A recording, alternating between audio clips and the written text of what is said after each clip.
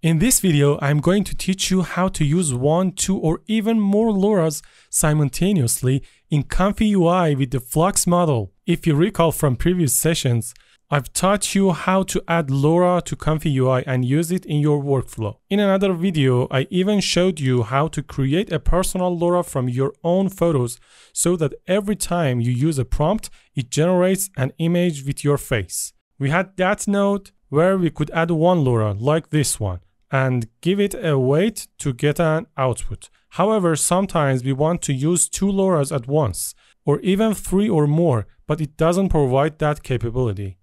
For instance, we can use the Flux Realism LoRa, which gives us a more realistic image and removes that artificial, somewhat plastic look on the skin that certain AI models can produce. We can use this LoRa alongside our personal LoRa to make the image more natural, or we could use other LoRa's, many of which are available for download on sites like Civit AI, just like in a Stable Diffusion, where we could use multiple LoRa's simultaneously. No one had shown how to do this in Flux.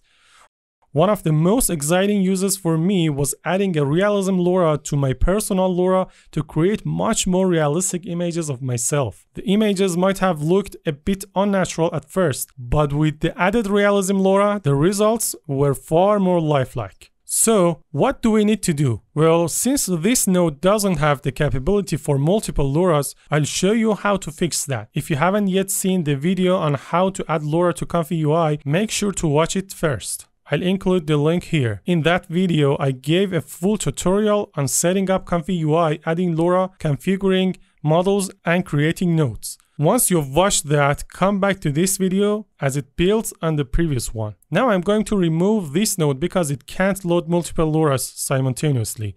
Instead, we need a different node. To get this node, go to the manager section, which I covered in the last video. Here in the custom manager, type RG3. You will see the node here and you need to install it. Since I've already installed it, it doesn't show the install option for me, but for you it should be there. Once you have installed it, restart Comfy UI to start using it.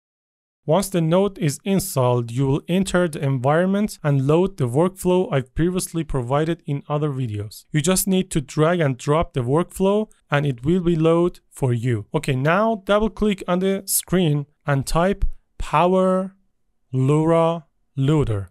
We need this node is clearly named LoRa loader RG3. Add it here just like that. You can now load multiple LoRa's into your workflow at the same time. From here, I'll connect the model to this node.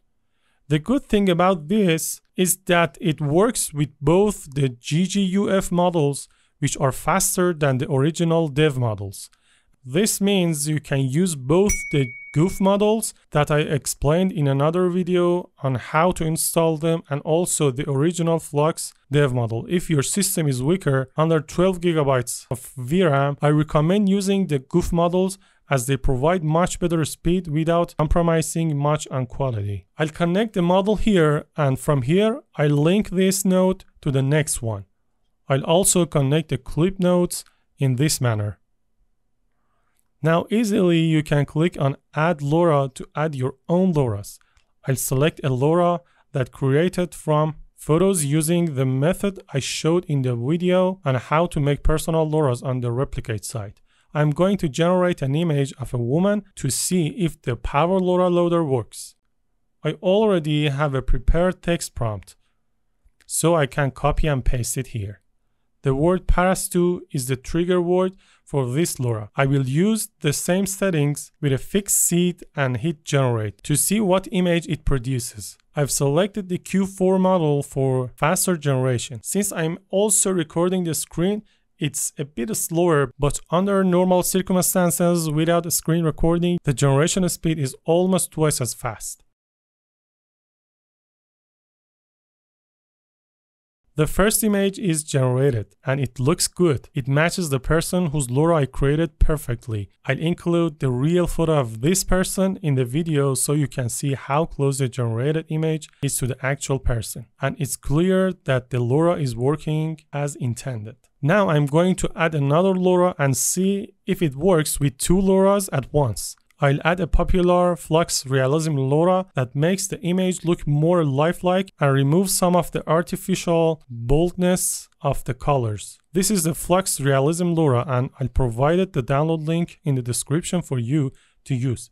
I want to see if it changes my image. I'll fix the seed so we get constant results and I adjust the weights slightly setting one at 0.65 and the other at 0.85 so they blend well together. Now with the same fixed seed I'll hit the generate again.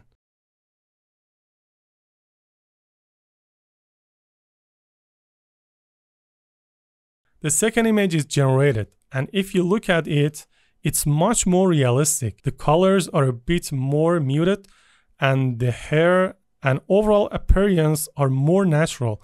If you compare it to the first image, you will see that the colors in the first one are more artificial, while the second has a much more realistic feel. The waist, for example, has changed in the appearance, so it's clear that both LoRa's are working together. We can test other LoRa's as well. Let's try something creative. I'll add another LoRa which I trained on a different woman's photo and combine the two faces. I'll also include real photos of both women in the video so you can see the combination. We are going to test with three LoRa's now. I'll type it the name of the second woman for her trigger word and with the same fixed seed, let's see the result with three LoRa's.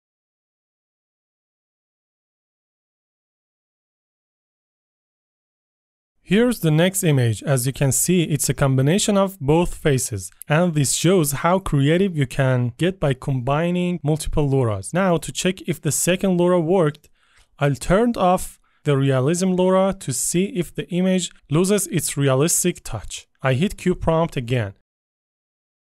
Here are the images. This one is with two LoRa's and the first one is with just one LoRa. The realism LoRa wasn't active, so the image doesn't look as realistic. The image with three LoRa's is both more realistic and combines the two faces. It's a fantastic feature that allows you to use multiple LoRa's at once. You can even download other LoRa's from the websites I mentioned earlier in the video and experiment with creative combinations. Here is the next image with the realism LoRa turned off you can see the image looks more artificial while the other one looks more natural. This feature allows you to blend LoRa's easily and create unique creative outputs. Thanks for watching, see you in next video.